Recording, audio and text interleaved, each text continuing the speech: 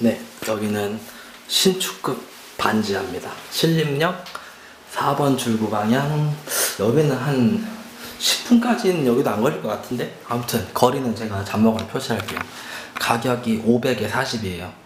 아, 한 건물 한 2년 된 것 같아요. 2년 된 것 같고, 어, 신축급 깔끔한 건물을 보신다면, 그러니까 500에 한, 사, 요 정도면 500에 40 정도라고 어, 생각을 해야 됩니다.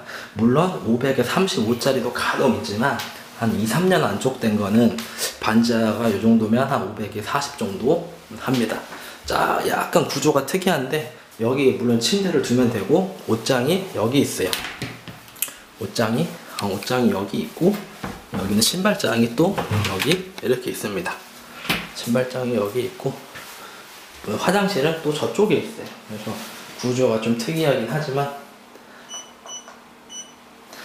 어, 여기 이 벽에서 저 벽까지가 2m 80 나오고요. 저 벽에서 요 벽까지는 2m 70이 나옵니다. 아마 이제 화장실은 일반 원룸 사이즈고 요 정도가 이제 지상층이면 어, 500에 45로 나오면은 아주 좋은 편이고요.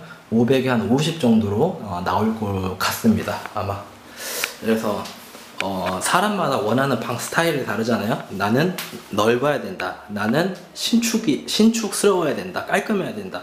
아무튼 그 두 개를 다 어, 가져가려면 여기서 아주 먼 곳으로 가야 되기 때문에 어, 요거를 어, 참고하셔서 보시면 될 것 같습니다. 나는 500에 40에 2년 안쪽 신축을 봐야 된다 하면 방 아주 작을 거예요. 대부분은 거의 100%라고 말하기 좀 그렇고. 아무튼